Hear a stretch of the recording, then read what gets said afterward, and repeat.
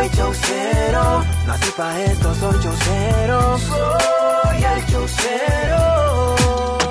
Hey, damas y caballeros, ¿cómo están? Bienvenidos una vez más a uno de nuestros podcasts. Yo soy Gazú esto es el Show Cero. Hoy contento, alegre de estar de vuelta por acá. Ya días no habíamos aparecido por estos lados porque teníamos el pedo del Show Cero tranqui, pero eh, hoy estoy con un invitado especial y estoy con nuestro querido amigo, mi- nuestro pana de punto joven, Jorge. Se me olvidó tu apellido ahorita, loco. Sos, ta- sos tacaño, ¿ah? Jorge Medina. Jorge Medina, me dijo, ya, ya, ya, ya, ya en, la, en la entrada, eh, a ser tacaño este, ¿va? Jorge Medina, ¿cómo estás, loco? Estoy tranquilo, saludable. Relajado. Relajado, ¿Qué, si- qué- qué siente estar ahí, no acá? Um, no sé, me ca- causa más energía. Creo que es más rico ser cuestionado que cuestionar. ¿En serio? Sí. Sí, es bien complicado. Te pones en el, en el centro del huracán. Se te el huracán y te pones en los zapatos de tu entrevistado. Correcto, correcto. Pero Correcto. bueno, mucho hemos visto las entrevistas eh, de nuestro querido amigo Jorge y ha causado un poco de revuelos por la forma en la que él entrevista, su formato.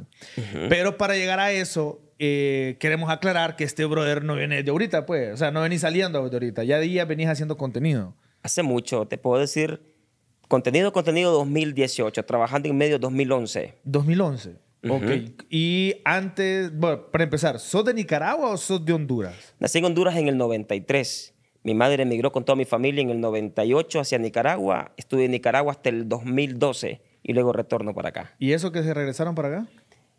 Mi familia ha sido así bien nómada. Tiempito aquí, tiempito allá. Pues no tiene nada que ver el gobierno, el comunismo y toda esa en lo absoluto.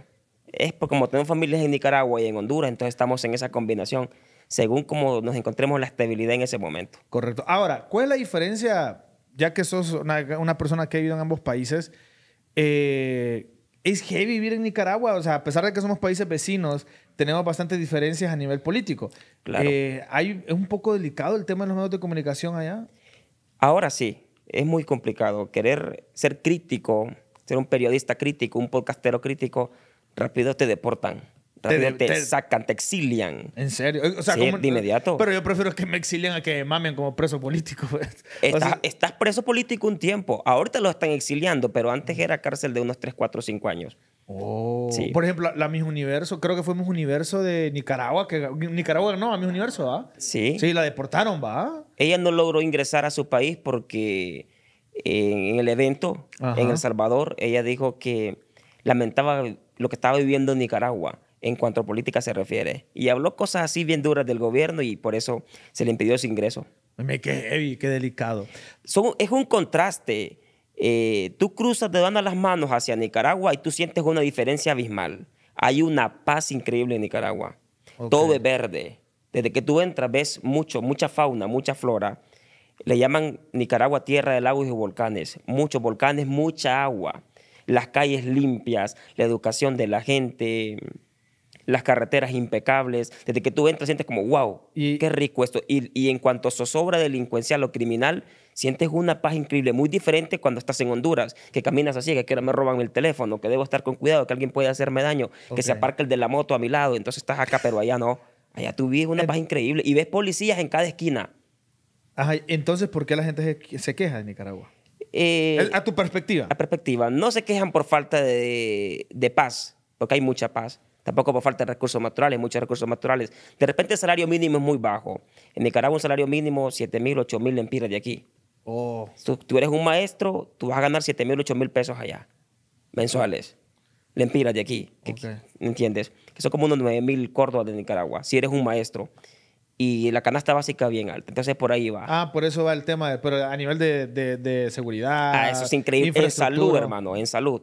Tú vas a Nicaragua, a un hospital, hermano, y te hacen cualquier operación sin cobrarte ni un solo centavo. Mm, Mira qué cosa. Hay gente de Honduras que va a Nicaragua sí, que lo en, atiendan. en la- en las, en las fronteras pasa bastante eso, sí, ¿ah? mucho. Y no, hay gente de Tegucigalpa, de Danlí, de cualquier rincón del país, va a Nicaragua que lo operen porque allá, o sea, cualquier enfermedad te lo operan sin cobrarte ni un cinco. Médicos de Cuba. Ok. Y ya hablando un poco, dejando ese tema de lado y, y hablando un poco de tu infancia, loco, ¿cómo fue tu infancia? Fue dura, fíjate. Em, gracias. Qué bueno. Casi como que nos entrevistan, cuando nos entrevistan casi nos ven como material. Pero cuando un tipo como tú quiere hablar a profundidad, es causa rico. Tú dijiste infancia ahora y sentí... Mira, te cuento algo grosso modo. Eh, mi madre fue secretaria de mi padre. Mi padre era alcalde, por eso tengo ciertos genes políticos. Mi padre era alcalde y yo no sé si mi madre me hizo en el escritorio el alcalde, era su secretaria. No puede ser. Ah. De repente eso Sí. pasó. El caso que es, mi madre salió embarazada de mi padre y mi Ajá. padre no me reconoció como hijo. Un Oh. tipo cruel. Porque yo crecí en extrema pobreza. En el podcast que te hice, tú dijiste que le tenías miedo a volver a la pobreza. Algo así viví. Mm. Pobreza extrema, pobreza extrema. Ir a la escuela con zapatos gastados o ir a la escuela con ropa prestada de mi hermano mayor o cosas así. Mucha crisis económica, mucha falta de comida. Mi primera bicicleta la tuve a los 16 años porque yo la compré. Nunca tuve carrito, no puedo jugar PlayStation porque nunca pude jugar Play. Porque nunca tuve una Play. Y muy diferente a tu caso que tuviste en y, eso. y está clavo jugar PlayStation con tu dedo. ¿ah? Perdí este dedo en el 2016, fíjate, un accidente en moto. En serio, loco. Sí. Eso. Ve, mira, es que jugar PlayStation así no es fácil, amigo. No, no, no. Mi hermano me dice, compremos una Play y yo le digo, no creo poder jugar, hermano, Sí. mira. Ah, Ya, ya si fuera Atari, sí, va. Pero eso es lo que menos me importa jugar Play, ¿me entiendes? Lo que me preocupa es que no puedo matar un piojo. Ah, huevo. sí, no puede. O sea. Tampoco eh, no una le- pulga ni abotonarme la camisa, Sí, ¿me entiendes? no puedes dar, no puedes dar un like completo. Me sirve porque si me caes bien te doy un like, si Y no si me no- caes muy bien te doy este medio like, ¿me entiendes? sí, sabes, sí, sabes. Muy bien. Muy bien. Ok, entonces, bueno, ya vamos a llegar a cómo perdiste dedo. ¿ah? Ahora, este, con el tema de, de la accesibilidad a la tecnología en tu niñez, muy complicado. Nefasto, viví en un pueblo. ¿Cuál es el pueblo más, más pobre, digamos, de aquí de Francisco Morazán? ¿Usted que anda en pueblos y pueblos, pollo? Eh, no sé. Un pueblo el más pobre. El más pobre. Eh, ¿Será San Ignacio? ¿Cuál? Ah, pueblito más remoto. Ajá. Ajá. Yo, co- el pueblo más pobre en el que yo he visitado, o sea, pobre con respecto a la infraestructura y cómo llegar, Candelaria. De repente por ahí. Cande- ¿Vos conoces Candelaria? No, Candelaria queda, está, es que es le- demasiado. Está- Es, es lo más humilde que yo he visto en mi país. Ok, te, cuen- te cuento la historia a grosso modo. Crecí en un pueblo muy pobre, escasos recursos económicos. Mucha pobreza, sin saber quién era mi padre. Caminaba con mi hermano con una mochila. En la mochila andábamos una vianda con frijoles parados, un huevo cocido, y nos íbamos a cortar café a las 5 de la mañana a diferentes haciendas. Cuando andábamos cortando café, pasaba un auto del año, en ese entonces, 2011, 2008, 2007, 2000, todos los años. Pasaba un tipo muy conocido de la ciudad, millonario. Pasaba en el auto y nosotros le, hacíamos, le pedíamos jalón. En el tiempo tenía el dedo Sí, completo, sí, ¿me ahí, entiendes? ahí pedía jalón completo. Pero le pedía jalón con la derecha.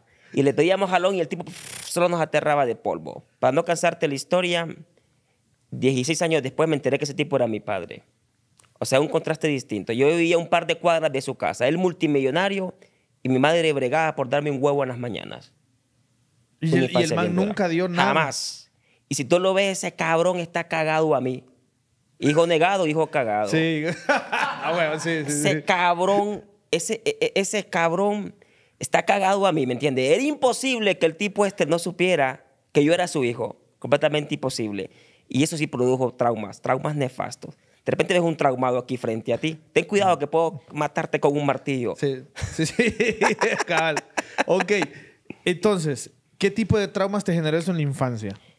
¿O cuando te diste cuenta? Vivir sin padre es duro porque tú estás así chamaquito jugando descalzo con una calzoneta y la barriga chorrea de sopa frijoles.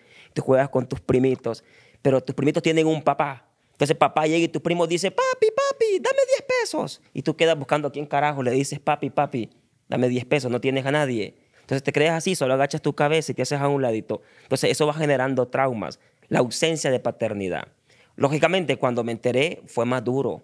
Porque tú dices, wow, este tipo fue tan cruel que yo viví en calamidades extremas. Este tipo multimillonario, a un par de cuadras de mi casa, y ni siquiera tuvo la dignidad de poder decir, oye, si no quiero, porque el tipo está casado con un hijo. Casado, casado. Decir, oye, si no quiero dañar mi matrimonio, por lo menos escondida, yo lo hubiera hecho. ¿Qué hubieras hecho tú en su lugar? Sí, o sea, por lo menos tener el wirro estable, pues. a escondida, ¿me entiendes? Llevarle a aquel niño que está allá, mira que ese es hijo mío, ¿me entiendes? Pero ni eso, papi. Y a veces me encontraba en el parque, yo un niño chiquito, me encontraba en el parque y me decía así. Y yo, ¿por qué me saludó este señor? No entiendo qué me ve. Otro día nos encontramos en una iglesia, yo iba a leer la palabra, era católico, él era el que lideraba el área de la liturgia. Y él me dijo, padre, al sacerdote, yo quiero leer la palabra hoy. Y él me dijo, el padre, listo, entiende con Julano. Cuando fui donde él, hey, ¿cómo estás? ¿Sabes una cosa, sí? Yo soy como familia tuya, ¿tú sabes eso? Yo no sabía, hermano, 13 añitos. yo, ¿en serio? Sí. Es que no sé, que tu abuela fue prima de mi bisabuela, tatarabuela, algo así, pero familias mía vení siendo, fíjate. Lejana, pero vení siendo familia. ¡Qué cabrón! El, descarado ahora. ¡Qué cabrón, hermano! ¡Qué heavy, bo. ¿Y tu mamá siempre fue secretaria o qué pasó después de que tuvo esa, esa relación con él? Muy sufrida. Mi madre sufrió mucho en el amor. Fue una señora que intentó encontrar el amor y no pudo. Tres hijos de diferentes papás. De esas mujeres que tienen un hijo no les va bien Luego buscan otra pareja tampoco y otra pareja tampoco. Tres hijos. Nunca encontró el amor. ¿Sigue vive tu mamá? Está viva, gracias a Dios. Una señora tiene paz ahora en su corazón. No le falta nada. Dios me bendijo a mí para cuidarla. Pero en cuanto al amor se refiere, carece. Carece de, de, esa media naranja. Carece de ese que le sople el pinol cuando esté caliente. Carece de ese que le rasque la espalda o que le, le lave la espalda en el baño. ¿Me entiendes? A huevos. Y ¿En qué momento tu mamá decidió? Vos me dijiste que vivías en el, en el campo. ¿Son un, son, ¿Fuiste un...? Un campesino total, hermano. Ok. ¿Y de qué trabajabas? ¿Vos lo trabajabas para vos, para tu familia? ¿Ustedes cultivaban su comida o trabajabas para alguien más? Para alguien más. Teníamos una finquita de dos manzanas. Con eso sacábamos pecho en aquel entonces. Dos manzanas es nada, hermano. Una parcelita. Trabajábamos afuera cortando café, sembrando bananos, estaquillando tomates, eh, sembrando maíz, frijoles, arrancando frijoles, aporreando frijoles. Mi vida fue en el campo todo el tiempo. Estudiaba y trabajaba en el campo a la vez. Okay. ¿Y, en el, ¿Y en la escuela, loco, qué tipo de alumno sos?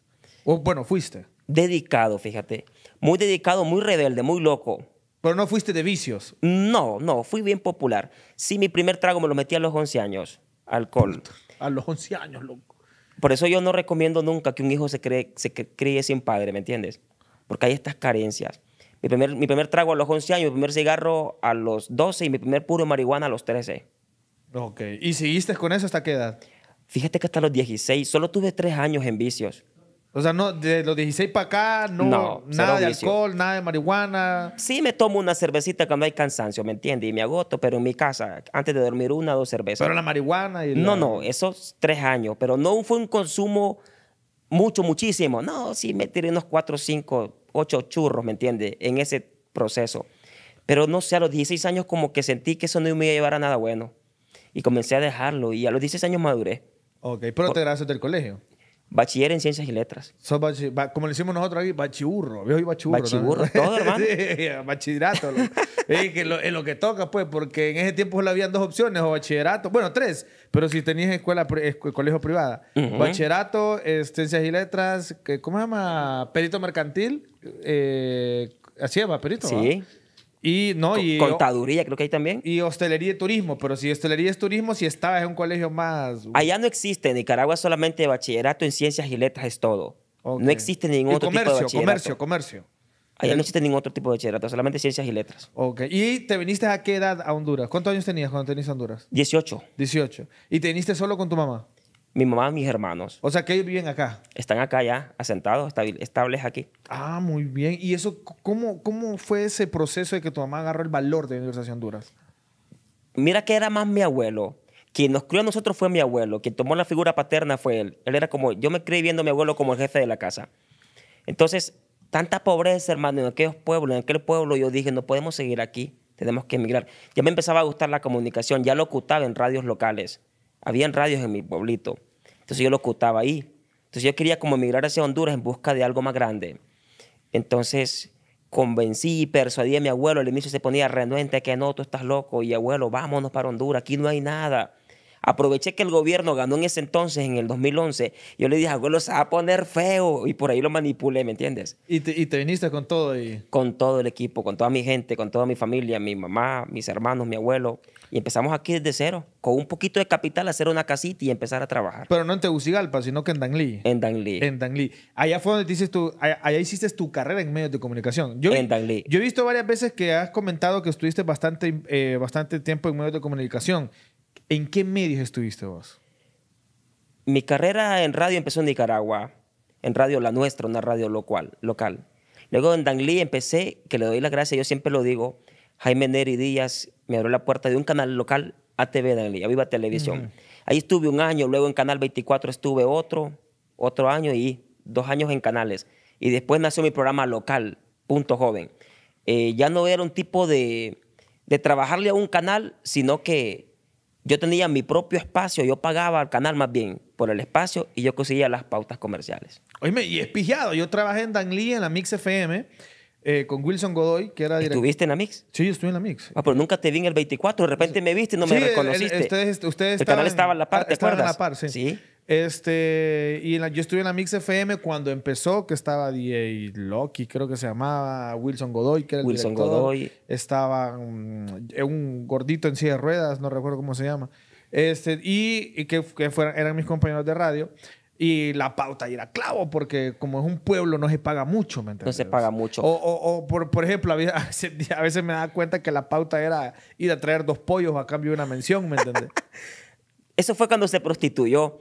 Cuando la televisión empezó en su auge, en Danlí sí, valía 15 mil, 20 mil pesos una pauta. Y en radio también 15 mil pesos. Pero se fueron como abriendo demasiados canales y de repente había en Danlí más canales que Niños Felices. y había más radios que Niños Felices. Y entonces, a ver tanta competencia, tú, tú ibas a vender una pauta un lugar, ¿cuánto vale? 5 mil mensual. No, si a mí Julano me lo da por dos almuerzos. Ah, sí, a huevos, es lo que Entonces, pasa. ah, pues deme dos almuerzos también para hacerle la competencia al otro. Y así. Y Punto Joven empezó como un programa de entretenimiento musical. No, noticias, noticias. Nunca Ah, me gustó el entretenimiento. Ok. Siempre sentí que el dinero estaba en los tiburones. Ok, siempre sí. sentí que entrevistar políticos era. Siempre sentí que ponerlos en jaque mate era. Era, eh, ahí estaba el business también. Ahí estaba el negocio. Entonces yo empecé a ser bien duro en, en las entrevistas. Porque yo dije, dame un segundo, si yo... Mira, yo miraba, yo trabajé como camarógrafo, eh, editor, productor de noticias y reportero también. Pero yo miraba que los presentadores se sentaban así, decían ellos, vamos a otras noticias. Hoy el alcalde de la ciudad inauguró un proyecto de pavimentación. Adelante con el reporte. Yo decía, ¿por qué tiene que ser así, me entiendes? Tan, y con el saquito y la corbatita así. En otros temas, el presidente de la República visitó el departamento del Paraíso. Aquí está el reporte. Porque tiene que ser así. Entonces, cuando yo dije, voy a abrir un programa de televisión en el que pueda ser yo, ¿me entiendes? Entonces yo comencé, ¿cómo están? Qué gusto poder saludarles. Hoy está el regidor tal o el alcalde tal. Y si me picaba la nariz o tenía un moco, que me lo sacaba en vivo, ¿me entiendes? Estamos en vivo, alcalde, disculpe, me voy a sacar este moco, carajo. Alcalde, ¿cómo está? Y entonces la gente decía, "Ay, ¿qué, qué, qué está pasando aquí? Este tipo trae algo loco. Y yo empecé a ser bien duro, alcalde, ¿usted tiene amante? Y entonces la gente, ¿qué huevo preguntarle esto al alcalde? O alcalde, ¿alguna vez usted ha robado? ¿O cuánto dinero tiene, alcalde? Y eran preguntas al, al parecer bien estúpidas. Pero, pero- fíjate que gustaban. Y la gente, hey, pusiste en jaque al alcalde. Y ahí. O sea, de ahí agarraste esa Ese forma, de formato. ese formato de entrevistar. Y eso es lo que pegó que, siempre. que a veces, y eso es lo que te ha funcionado ahorita. Pregunta estúpida, hermano. Pregunta estúpida. ¿Él es infiel a tu mujer? Y preguntarle así a, a diputados, ¿me entiende? Diputado. ¿cuánto dinero tiene usted? Diputado, ese carro que usted tiene, ¿lo compró el Estado se lo regaló? Recuerdo que una vez hice una entrevista a Reinaldo Sánchez, cuando estaba el Partido Nacional en pleno peso, y le dijo, ¿usted viajó a Danlí, señor Reinaldo Sánchez? Entonces él dijo, sí, sí, mire, que este es lo otro. ¿Cómo sintió la carretera como está destruida? Es que mire, o viajó en helicóptero. Y vieras qué pegó eso. Eso fue un escándalo a nivel nacional. Oíme, que, que te la ingeniaste, va. Descubriste el, El formato. eh, descubriste el formato. Pero a la vez, yo me daba cuenta que te dedicabas a hacer sketch. En ese entonces solamente eran entrevistas, noticias, bla, bla, bla, bla, noticias. Pero en el 2018 yo estaba en números rojos, con un estrés a punto de darme un derrame cerebral. Estaba pagando más de lo que ganaba, es lo que tocaba decir, mendigando para una pauta. Yo llegaba a casa comerciales, mira, Gasu, vengo a cobrar el mes de publicidad. No, yo no tengo dinero, Jorge, agarrame estos zapatos. Carajo. Está bien, deme ese par de burros entonces. O deme ese par de camisas. Entonces empecé a caer en un desfase económico. Yo dije, no puedo seguir así, tengo que hacer algo distinto. Entonces en el 2018 moneticé una página en Facebook justo cuando Honduras se aperturó en esa área. Y comencé a hacer sketches porque ya había trabajado en unos sketches en Nicaragua. Y hacía mamaditas así, locuras, de que Julano era el marido y Sotana la esposa, pe- pendejaditas así. Un día hice uno, lo subí. La página ya monetizaba, pero yo no le entendía el trámite. Lo subí y me fui, recuerdo, a hacer un reporte. Cuando yo iba de camino en mi moto, caminaba en una motocicleta negra, iba de camino y clink, clink, clink, clink, clink, el teléfono sonaba. Y yo, ¿qué será? ¿Algún virus? Cuando llego al lugar, veo mi teléfono, oye, en tres horas el video tuvo un millón de reproducciones. Y me generó como mil dólares. ¿Ese fue tu primer pago en redes sociales? Mi primer video que generó plata. Yo miré mi, mi millón de reproducciones en ese entonces. ¡Wow! Corrí a mi casa, revisé la página y había generado mil dólares en tres horas un video. Y yo dije, este es el negocio.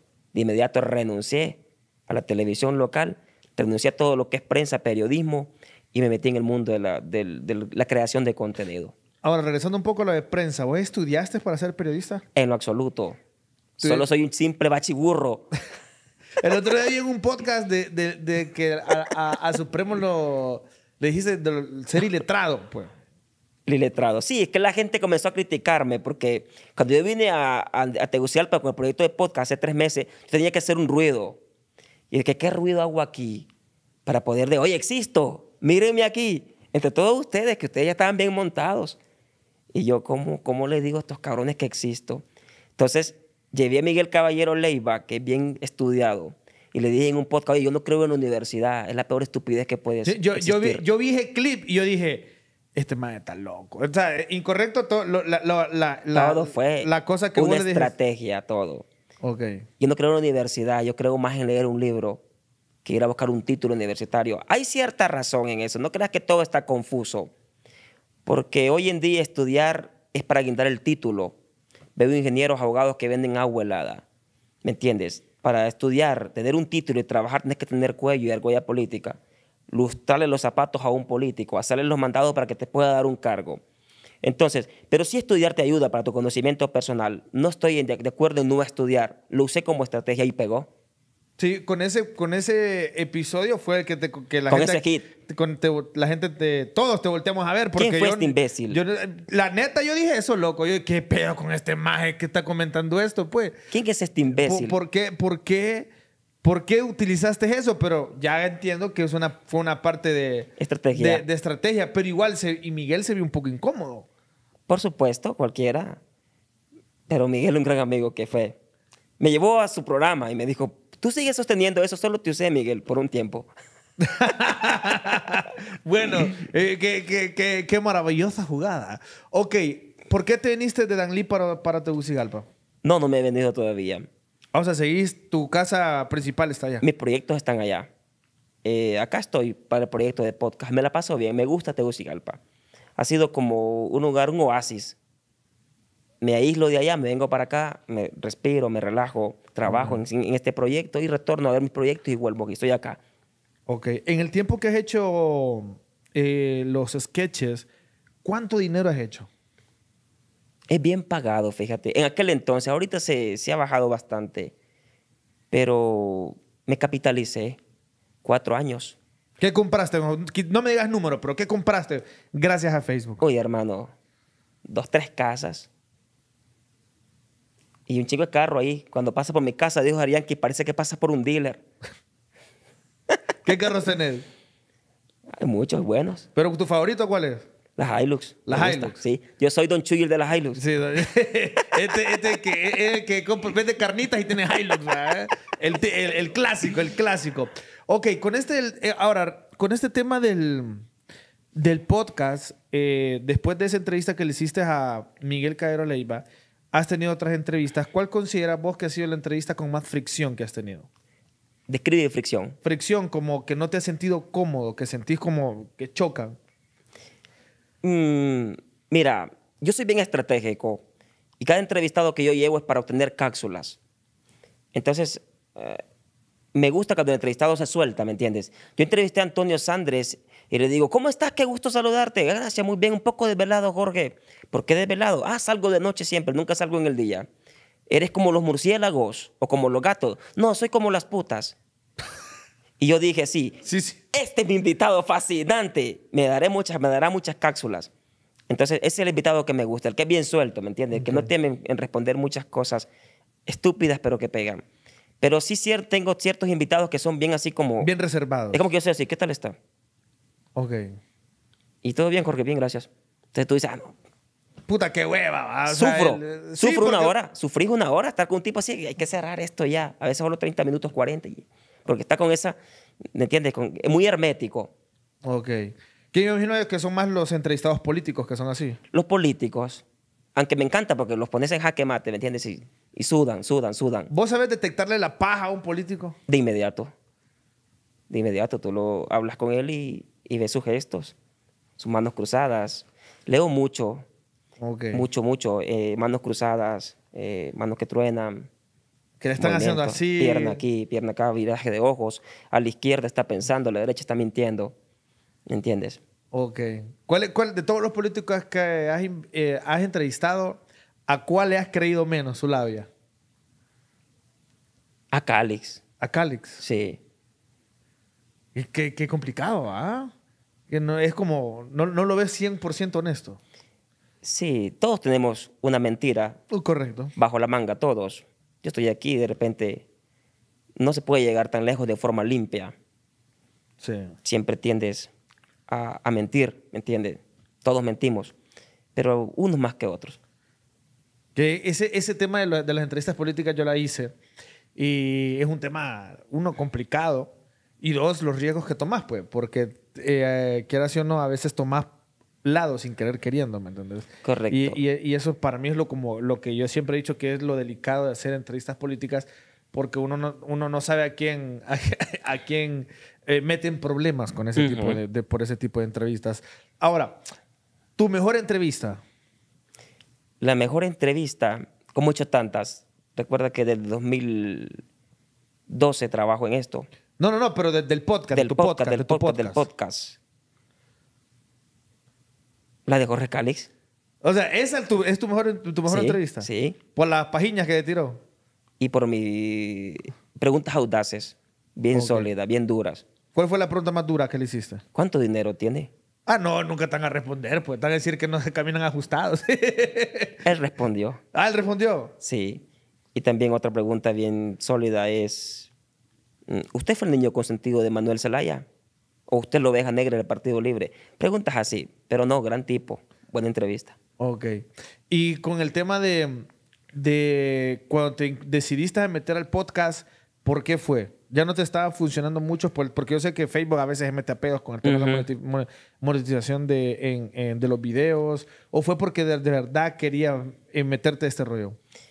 No, me está yendo muy bien en Facebook, pero el podcast es como, como un, un hobby, fíjate. No me genera ni un solo centavo. Sí, las cápsulas tienen cierta viralidad y Facebook te paga por eso. Pero el podcast es como, me siento en un, en un mar, en el agua, es como un pez en el agua y me relajo. Además tengo contacto, no te hubiera conocido si no hubiera sido por el proyecto de podcast. Entonces tenerte como amigo para mí es una gran bendición. O sea, que esto también te, te- lo ves como una cuestión de conectes. o sea, te- Conectes aliados. Ok. Antes de, antes de esto, eh, ¿analizaste el mercado de los podcasts? Si, si generaba dinero o no. No, no, no. A nivel de, ok, ya existe este, ya existe este, existe este, este. Fíjate que, que no. Me- que- es que yo soy más de trabajar con, como el burro, ¿me entiendes? Pa, pa, pa, pa. Sí debo ser más astuto en, en analizar las competencias, pero no, soy más de trabajar en lo mío. No me fijo qué hace Julano a la izquierda o a la derecha, trabajo en lo mío. mío. La verdad que no, sí te, cuando llegué a Teo empecé a conocerte en el proyecto tuyo. Ok. Porque ya- estando aquí sí comencé ya, pero ya había empezado mi proyecto. Comencé a, a estudiar la gente que hacía podcast. Me gusta mucho tu podcast y ese me gusta mucho. Es que es entre lo informal y lo formal, ¿me entiendes? Me gusta más este formato. Ok. ¿Vos- vos- a vos te gusta mantenerte más en lo formal. Y lo informal, ese- esa mezcla. Los hijos de Morazán no me gustan. ¿Por qué no te gustan los hijos de Morazán? No sé, hay mucha, mu- mucho, mucha locura, ¿me entiendes? Y no se llega a un punto específico que pueda, eh, que pueda ilustrarme, que yo pueda recibir algo. Hey, hey, me gustó esto, lo aprendí. Yo soy bien, me gusta educarme, ¿me entiendes? Me gusta ver algo para que me, me inyecte algo, ver algo para que me, me, me documente, me informe, que diga, hey, no sabía esto, no había visto la vida desde este punto. Qué rico lo que habló este fulano. O qué bien lo que, se, lo que escuché aquí, hey, tienes razón, ¿me entiendes? Pero cuando tú tienes un podcast de que solo es joder y joder y jodedera, de que esto y lo otro, entonces, ¿a dónde me llevas con eso? Si vos tuvieras a uno de los hijos de Morazán, ¿a quién entrevistarías? No, no los conozco. ¿No los conoces? No. ¿Te gustaría entrevistarlos? Ah, sí, claro, por supuesto. Serían unos grandes invitados. ¿Es complicado también? ¿No crees que es un poco complicado entrevistar a alguien que no conoces? Si me dan luz verde que vienen a mi podcast, entonces entrevisto su biografía y eso lo hago en un promedio de dos horas. Tic, tic, tic, suficiente. Sí, te metes al rollo. Dos horas. Pero fíjate que a veces estudiar mucho al invitado no es tan bueno porque luego te comienzas a preguntarle lo que todo el mundo ya le preguntó. Ok. Entonces a veces me gustan más mis entrevistas que fluyen ahí en el acto. Es como tú no tienes ahorita un libreto. No, no, no, no, yo no. A mí me gusta más así también. Tata y como que me gusta, soy un perfecto escuchador, escucho y durante habla como que me vas tirando pauta. Ah, por aquí va la línea, por aquí va. Y me gusta más por ahí. Ok. Veo que en tu, en tu contenido también vos te metes mucho al pedo de las relaciones, va. Eh, De, de, de hacerle preguntas, infidelidad. A ¿Te los invitados. ¿te, te han sido infiel a vos? No, fíjate que nunca. Bueno, yo digo que nunca. ¡Pambe! ya, ya, ya empezamos mintiendo así. Así nos vamos a llevar. Es que yo no. entonces. Mira, te diré algo. Yo no he sido de muchas relaciones, fíjate. Yo he sido un Ok. tipo obstinado con el trabajo. Mi mujer es el trabajo.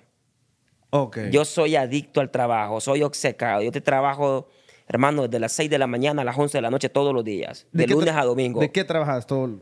Yo paso pensando, hermano, yo me, me gusta mucho el aislamiento. Entrevisté a alguien ayer y me dijo algo que me encantó. El éxito es solitario. A huevos. Y un Lamborghini, me dijo, solo tiene dos asientos y un bus tiene 50. Y yo me considero un llanero solitario. Yo soy más de pensar. Yo puedo estar en una cama ocho horas, hermano, acostado, solo analizando ideas, viendo podcasts, Viendo qué, qué sacas de viendo nuevo. gente, Ok. viendo reel de otras personas. Wow, este voy a copiarlo, me gusta, lo voy a mejorar. Eh, wow, qué buena línea esta. Horas, horas y escribiendo y leyendo libros. ¿Con cuán- cuántas relaciones has tenido? Serias. Dos. Chauceros, interrumpimos este podcast porque resulta que el Chelín se quiere comprar un vehículo y no nos había dicho. Y quisiera saber por qué. No, es que tu movimiento nadie lo tiene que saber para que todo salga bien. ¿Ah, sí? Sí, Por así eso es. ya vino a probar las Havas. Sí, mire, el H6 aquí yo ni sé, demasiado botón para mí. Le quiero tecnología. preguntar, ¿para qué un carro con techo panorámico? Porque mire, aquí podemos enseñarle a la baby de que puede ver más allá de mí. Digo, ah, mire, demasiado el techo. ¿Y mire. por qué él quiere un carro que se estaciona solo? Uno nunca sabe, prefiero que el carro maneje, me maneje a mí que me maneje yo. no, el parqueo autónomo es lo bastante, digo yo, para mí, porque no sé parquear todavía. ¿Y, Ser ¿Y por qué un carro tan grande? tan grande, porque aquí puedo meter a mis aleras. A los aleros que me dieron jalón. ¿Y por qué un 4x4? 4x4, uno nunca sabe el tierrero dónde va a meter. Inalcanzable. Este, este hombre sabe. ¿Y sabe quién más sabe? Usted, si viene a probar los nuevos modelos de GWM, el Haval H6 y el Haval Jolion. Te esperamos en nuestra agencia de GWM. ¿Y ganado has tenido? O sea, sexo casual. O sea, sos, Guau, sos- sos un, sos un hombre pocas mujeres en la cama. Gracias, gracias. Así me gusta. No, arrinconame. Fíjate que tengo un problema de exclusividad. Te lo diré claro. Para que mi pene se ponga erecto, tiene que haber un vínculo afectivo. No O sea- soy de que cuando sea alguien aquí, pago una habitación ahorita en el Clarion, subo y me la como. Mi pene no podría ponerse derecho. Aprenda, Chelín. Te lo juro. Mire, aprenda usted, Te lo juro, te lo U- juro. Usted, usted esas costumbres raras que usted tiene de fin de semana, aprenda al varón, Te por lo favor. juro, te lo juro, te lo juro. Al inicio pensé que era un problema mío de precocidad o un problema No, ¿me pero es que entiendes? eso no, en mi naturaleza. eso, no tiene nada, eso no tiene nada que ver con ser precoz. Precoz es otra cosa. Claro, pero en ese tiempo es que no, no, preco- que precoz sí, porque de repente me la miraba linda y todo. No, precocidad en el sexo es Correcto, yo sé es- que no duras a la hora Ajá. de tener una relación sexual, pero yo la miraba linda y todo y sentía de repente atracción física. Ok. Pero a la hora de estar en una cama me bajoneaba, hermano. O sea, que una... Y no- una chica linda. no- nos has dejado mal muchas veces, entonces. Ah, demasiado, hermano. demasiado. Y la chica, pero ¿por qué? No sé, carajo, discúlpame. Perdóname. O sea, ¿qué? ok, quiero saber qué le decís a una mujer cuando estás a punto de tener una relación sexual y, y, y, y, tu mini-me te traicionas y, vos, ¿cuál es la labia? ¿Qué, ¿Cómo Mira, abordas? no le puedo decir aquí, no tengo ningún vínculo afectivo contigo. Sí, no, Eres muy linda y todo, pero no me gustas. La hiero. Entonces le puedo decir, mira, tengo muchas jornadas de estrés. La, la, la página del estrés va. y el estrés me está fastidiando, perdóname. Y no logro, ¿me entiendes? Discúlpame. Eso por ahí. ¿Cuántas veces te ha pasado eso? No he sido mucho de este tipo de conducta, fíjate. Me pasó más en mi soltería que unas cuatro veces, creo. ¿Y has sido infiel? No, nunca. Nunca. No. ¿Y has tenido la oportunidad? Por supuesto, hermano. Como todo hombre, tienes chance de, de pagarle mal a tu mujer, pero no. Fíjate que es que es que yo soy más adicto al trabajo, soy enfocado total. No me gusta joder. Ahora, otra, pero ¿cuántos años tenés? 20, 31. 31. Y 22 va a ir. No, es que- 21. Es que me- estoy con la estepa cuando fui soltero, ¿me Ah, ok, entiendes? ok. 31. ¿Alguna vez has pagado una prepago? Nunca. Nunca. El hombre que paga por sexo está hecho mierda, hermano. Porque solo es cuestión de hablar. Enamorar a una chica, hermano. Tantas mujeres lindas en el mundo que solo te las acercas. ¿Cómo vas a pagar por sexo? No puede. Mejor masturbate. Me culpa. Siéntase culpable, porfa. No puedes pagar por sexo. Sí. No, no, no debe pasar eso. eso. Eso es lo más asqueroso que puede Si existir. a vos te pagaran por tener sexo, una mujer obviamente lo haría. No, no creo. Tendría que estar muy necesitado, ¿me entiendes? Ok. ¿Cuál, cuál es la, cuál es la, cuando una mujer te conoce a vos, qué es lo, qué, qué es lo que identifica de vos? O sea, ¿qué es lo que dice que le atrae de vos? Poco agraciado de entrada, va. Este negro está feo. No, no, no, este pero es que cabrón. eso ya, ya está claro. Hablo, hablo no, casaca, perro. No, hablo de, de- de- de la personalidad, ¿me entendés? O sea, ¿qué, qué, qué le llama, ¿qué le llama atención a las mujeres de vos? ¿Cuál es tu sex appeal? Gracias. Mira, eh, a las mujeres les gusta que el hombre sea dominante. Vos sos chiquito, pero picoso, entonces. Dominante. Uno, a la mujer le gusta que el hombre la gobierne. Le fascina. Venga, sientes aquí, amor. Venga, sientes aquí. le fascina. Listo. Uno. Número dos, que el hombre resuelva Usted, financieramente, que resuelva, hermano. Se paga por el amor. Todo el tiempo vas a pagar por uy, amor. qué, qué frase más potente. Se paga por el amor. Todo el tiempo, hermano. El hombre que diga que no paga por amor está loco. Porque tú estás en tu casa con una mujer, tú pagas la energía eléctrica, tú pagas el apartamento, tú pagas el agua, tú pagas la comida, pagas todo. El día que dejas de pagar eso, esa mujer se va. Entonces pagas por amor. Siempre se paga por amor. ¿Alguna vez te han dejado por pobre? ¿Cómo no he sido tanto mujeriar, va? No, pero nunca carecí de estar soltero. Siempre tuve a alguien que me acompañara todo el tiempo. Ok. Quizás soy, soy bien labioso y quizás a la mujer le gusta mucho el liderazgo. La mujer se derrite ante un hombre líder, hermano. Puede ser poco agraciado, pero si tiene liderazgo, ay, ese hombre tiene algo que no sé qué liderazgo. Imponencia. Es un tiburón, ¿me entiendes? Eso es todo. Estamos con un tiburoncín acá. O sea, que, estamos... Ok, va- vamos a ver. Ya, ya que sos un hombre exclusivo, ¿qué consejo le das a esos hombres promiscuos que están viendo este, este, este, este podcast? ¿Algún tip para que resulte bien su situación en el amor? Ok. En primer lugar, que su cuerpo es un templo sagrado y que no puede allanarlo cualquier mujer. Que se dé a respetar. Que no sea tan sobrado, ¿me entiende? De andar como un garrobo asustado buscando un agujero donde meterse. Desea respetar. Si las mujeres mantienen un estatus de, también manténgalo usted, el tipo de que no, gracias, no me interesas. ¿Entiendes? Eso en primer lugar. Y número dos, trabaje en sí mismo, crezca en liderazgo y tenga dinero. Porque teniendo dinero se da el lujo de escoger y no de que lo escojan. ¿Entiendes? Ok. Ese es mi consejo, trabaje. Un, un hombre, un hombre con billete, o sea, que puede elegir. Por supuesto. Un hombre sin chamba. Con la plata baila el mono y sin plata bailas como mono. Si tenés plata, hermano, tenés la opción de decir, no, usted no me interesa, retírese, hágase a un lado. Ella me gusta, voy por ella. Y la conquistas, ya. Con plata, con dinero. Porque a la mujer le gusta un tipo que resuelve, hermano. Es todo. Un tipo que, que la ayude. Porque la mujer busca seguridad en un hombre. Mira, mira cómo es la cosa. El hombre busca en una mujer chiches inclinadas y pompas resaltadas y una cara bonita. Eso busca el hombre en una mujer. Y por eso se va. La mujer solo busca seguridad en un hombre, porque el hombre tiene, la mujer tiene ese sentimiento de buscar la paternidad en el hombre. Entonces, para que tú le ofrezcas seguridad a una mujer, se ofrece con dinero. ¿Vos crees que no, vos crees que ese dicho que muchas mujeres dicen que no son interesadas es mentira entonces? Siempre hay interés. Por supuesto, porque ellas están buscando seguridad. ¿Y cuál es la única forma que vos le puedes brindar seguridad a una mujer? ¿Cuándo te sentís más seguro en tu vida? Cuando tu cuenta bancaria tiene varios dígitos. ¿Cuándo te sentís inseguro en tu vida? Cuando andás con 10 pesos en la cuenta bancaria, hermano. Sí. Listo. Entonces, el dinero trae seguridad. La mujer, aunque diga que no es interesada, sí es interesada porque busca seguridad que tú le puedas dar y se paga con dinero. Mira, qué poeta, pues, Mira, tenés razón. Al, al fin y al cabo, hay razón en lo que y decís. pagas ¿me por amor.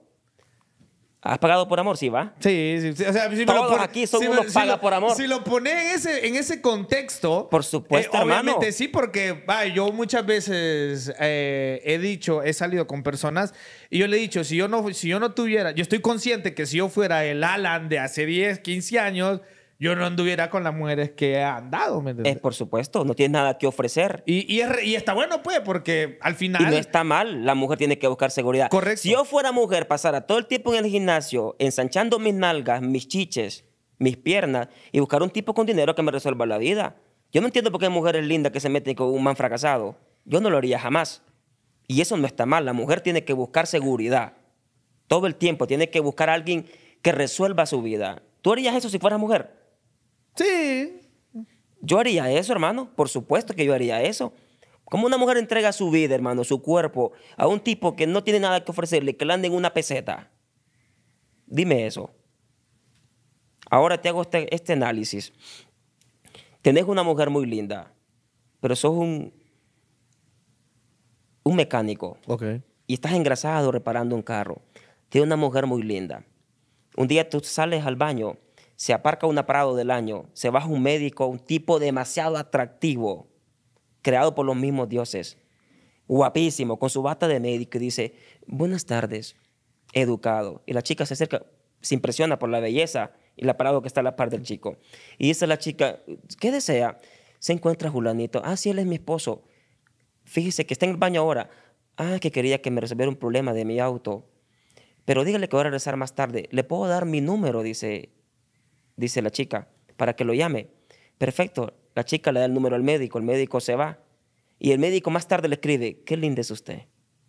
¿Con quién crees que se va a ir esa chica si el, si el tipo la persuade? Sí, con el. Con el médico, creado por los mismos dioses, dueño de una Prado del año con un sueldo de 80 mil pesos mensuales. Dejará al mecánico engrasado que no tiene carro. Sí. Eso pasará siempre. ¿Cuál es tu inseguridad como hombre? Todos los hombres tenemos inseguridades. ¿Cuál es la tuya? No sé, fíjate. Soy bien prepotente y bien ególatra.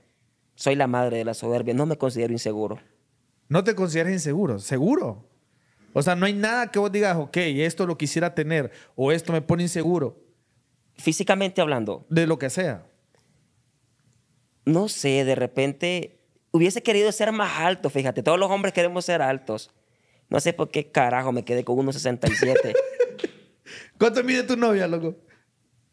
1,68 también. Una eh, ok. Estamos O sea, bien. pu- está- ¿estás parejos? Sí. Ok, entonces esa es tu inseguridad, la altura. No mi inseguridad que me preocupa. Que diga, Dios mío, uy, es que yo soy chiquito. No eso, ¿me entiendes? Sino que ah, puta, hubiera sido más alto. Es todo. Si pudieras operarte algo, ¿qué te operarías? Las rodillas. Como Jefferson Cosio.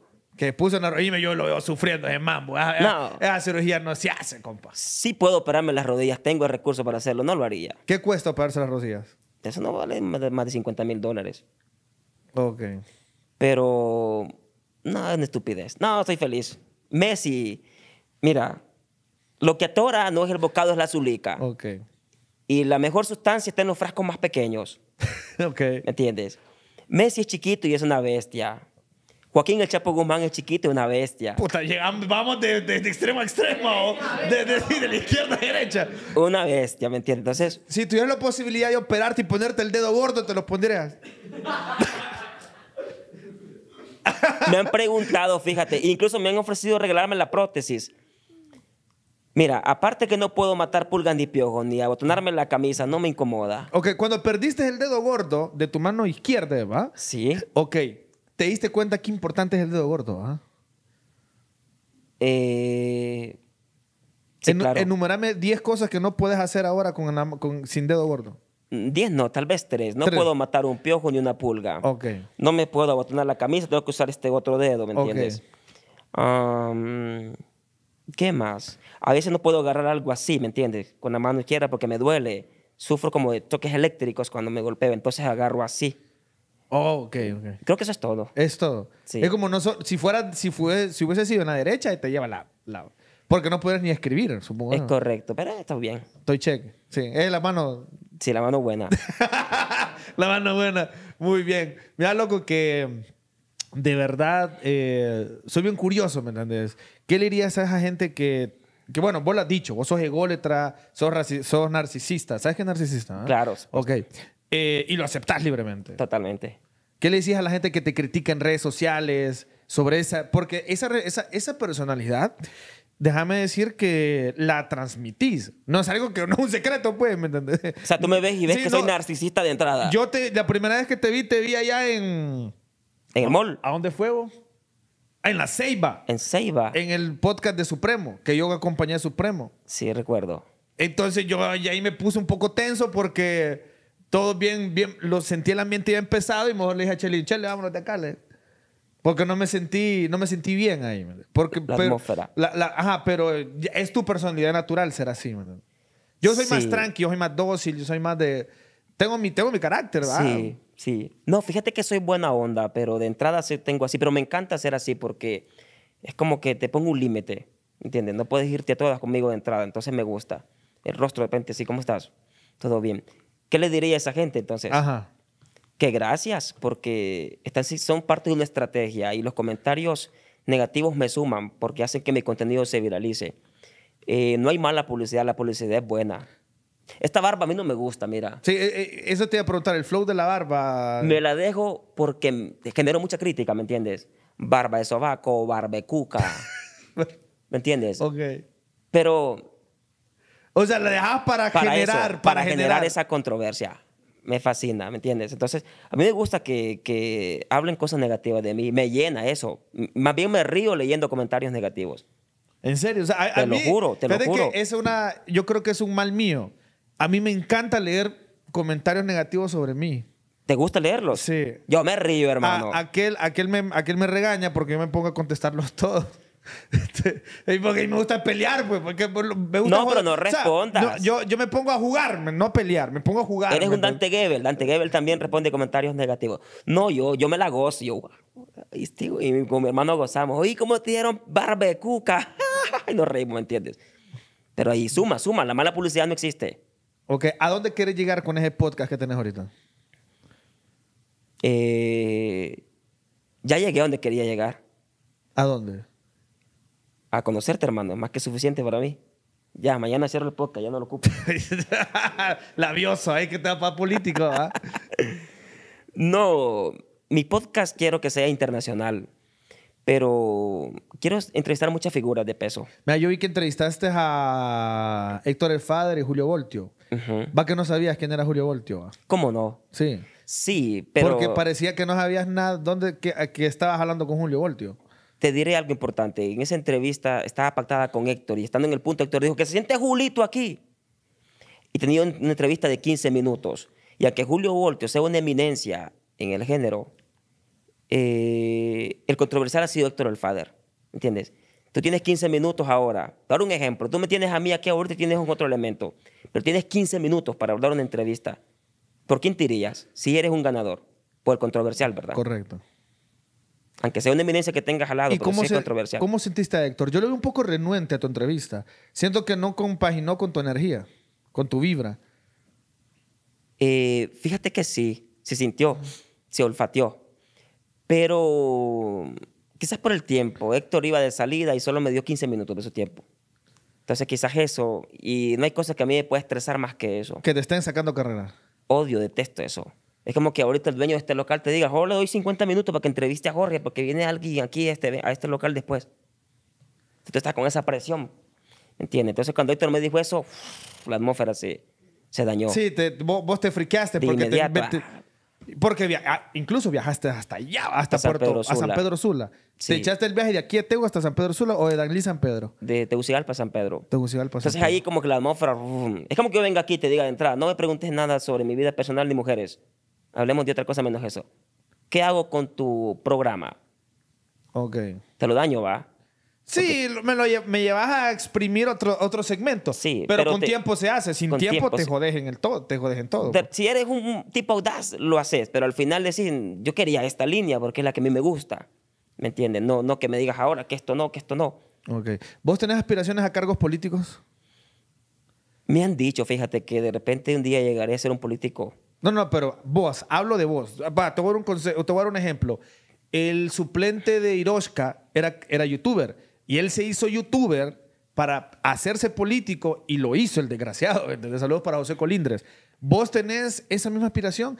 ¿Estás utilizando todas estas plataformas, todo este contenido, la fama para llegar a colocarte en un cargo político? Si no llego a ser presidente de este país, nada, hermano. Diputado, alcalde, jamás. Nunca. Porque no me interesa, ¿me entiendes? Se puede gobernar para hacer el bien, para ayudar, para transformar. Si no es un cargo en el que tengas la autoridad para hacer cambios, no me interesa. Ahora, no. Bueno, aunque el presidente tampoco puede hacer lo que quiera porque tiene Sí, otros pero- poderes, pues, los poderes independientes. No puedes hacer... pero tiene más autoridad. Más autoridad para convencer a una bancada de su partido y luego que la bancada convenza a otro y, y tiene más, más autoridad para ingerir. Ok. ¿Me entiendes? Pero políticamente, por dinero, no. Gana, gana, gana más gasto que un diputado. ¿O me equivoco? A veces. No siempre.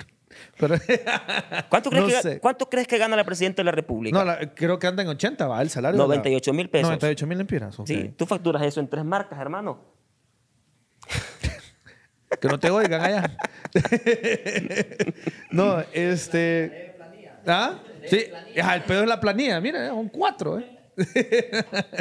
Este, ok, ya para terminar este podcast, vamos con. Vos, vos tenés preguntas incómodas, pues yo tengo las mías también. Este, vamos a hablar de lo peor a lo mejor de influencers. Yo sé, vos tenés un recelo bien pedo, bien serio con HCH, va. No, fíjate. Porque cada vez que te dicen que por qué no entrevistas un talento de ellos, vos lo, vos lo tomás bien. Siento que es bien personal. Uy, no, ni quiera Dios. No, no, no, en absoluto. O, no- Para- o te molesta que no te den entrevistas. No, tampoco. No, porque eso es voluntario. Eh, para mí, Eduardo Maldonado es una eminencia. Ok. Para mí no hay sujeto más astuto y más inteligente en el asunto mediático que don Eduardo Maldonado. Un campesino astuto, inteligente, un tipo profesional, pero a la vez sencillo, que ha sabido contratar la gente correcta para que lo lleven donde él ha querido llegar. ok. Y es un tipo, es un halcón. Para mí, Eduardo Maldonado es un tipo tan audaz, capaz de, de decir, esto no lo puedo hacer yo, pero sí sé a quién traer para que lo haga por mí y que me lleve a donde yo quiero llevar. Eso es admirable, ¿me entiendes? Uno, dos, es el mejor canal de este país, no hay nada más. Entonces, no, fíjate que no, no, No. ningún recelo, no. Ok.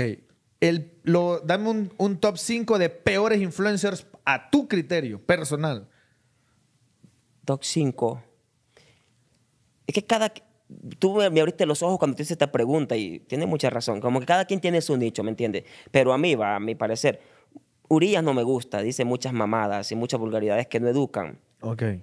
Eh, la Lidia me hace reír, fíjate. La negrita. Sí, no me gusta su contenido, pero me hace reír. Esa mujer yo la miro tres minutos y me río a carcajadas. Es por su acento, su tono, no sé.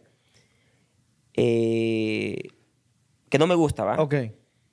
No sigo muchos influencers. Creo mucho. que solo esos dos. Y que te gusten, que vos decís, ok, estos me llegan por este, esto me llega por esto, esto me llega por esto. Me gusta tu contenido, eso es bueno. Me gusta, eso bien, bien formal y a la vez informal. Es mi formato favorito. Me gusta Supremo, fíjate, ahora, ahora me gusta. Antes no te caía bien. Siempre he sido un amigo, pero antes era como, "Puta, Supremo, mejora esto, puras mamadas haces. Pero últimamente está como educando y a la vez, o sea, como haciéndonos reír sin decir mucha grosería. Entonces me gusta, me gusta el trabajo que está haciendo Russell. Es bien ayudador. Hay un chico nuevo también, creo, por el lado de Russell, no, me lo recomendaron hace poco, no lo recuerdo bien. Le Vi un par de contenidos de él. Me gusta. Gears hace un trabajo muy bueno. Muy bien. El man se ha metido a pedo con hacer la onda de regalar, regalar vaina. va. me Encontró, la, gusta. encontró la fórmula. Me, gu- me gusta. Ayuda, ayuda a otros. Ok. ¿trabajarías de nuevo para alguien en un medio? Jamás. Nunca. Ni compraría un canal. No me gusta mendigar, hermano. No me gusta andar buenas. Se encuentra el gerente. ¿Qué desea? Es que mire que le traigo una propuesta publicitaria. Después me la acepta. Odio eso, hermano. A mí me gusta que me llamen y me escriban. ¿Cómo está? Quiero pautar con usted. Si es pautas locales. Pero las pautas locales no me gustan. Me gusta más trabajar directamente para Facebook y YouTube. Te va mejor. Sí, a ver, sí, va, va mejor. Depende, si te sabes vender bien, haces bastante billete. Uy, con- mucho, mucho. Muy bien, muy bien. Pero bueno, terminamos este podcast, loco. La verdad, este, muy bien. Con el otro L, muy bien. no, Sos no. cruel. Sos cruel. Muy bien, dice, para que yo lo siga. Yo no sé qué hacer y yo solo levanto este. No, muy bien, gracias por la entrevista. Y este, bueno, la gente que quiere seguir los podcasts, el episodio completo, ¿dónde lo compartís? Fíjate que el episodio completo está en YouTube, punto joven. Punto joven. en YouTube. Ok, y en TikTok Las lo, cápsulas virales. lo tirás en tu perfil personal. Sí, las cápsulas virales, los clics y en Facebook también. Jorge Luis Medina Medina y punto joven en TikTok. Muy bien, ahí está, para toda la marimba que quería saber un poco de este varón, le hace falta un pulgar y eh, eh, debo decir que... Es lo que destaca. Debo decir que de- en vez de ser una persona completa, este es incompleto. Totalmente. Pero no por el dedo, me Pero falta un tornillo. No por el dedo. Me falta un Bueno, tornillo. verdad, sí. no, dale, pues buena onda, loco. Y hay unos vídeos, hasta la próxima, chiquis. Algo que decirle a, a, a, a la marimba del chaucero, a tu fanaticada también. Que se vengan para donde mí también. Síganme, búsquenme ahí. Toda la gente de Gasu, del Chaucero, vénganse para Punto Joven. Ahí los recibo. Todo. a huevo. Chiquis, esto fue todo por hoy. Unos vídeos. Hasta la próxima. Gracias a nuestros patrocinadores. Gracias a Círculo K, que por cierto, unos hot dogs riquísimos. ¿A vos te gusta el hot dog? Sí, hermano, pero esa parte del perro no me gusta. No. hay unos vidrios, pues, hay unos vidrios. Hasta la próxima. Gracias a nuestros amigos del Clarion también, que se lucen cada vez que nos, eh, que nos apartan un salón para grabar. Aquí estamos al máximo. El gimnasio, por cierto, inau- inauguró un nuevo gimnasio. Buenísimo también. Hoy nos estuvo, hoy nos estuvo coachando nada más y nada menos que Albert Ellis, que se encuentra aquí en el hotel. Cuídense, hay unos vidrios. Hasta la próxima. Ahí. porque soy chaucero. Nací pa' esto, soy chaucero. Soy el chaucero.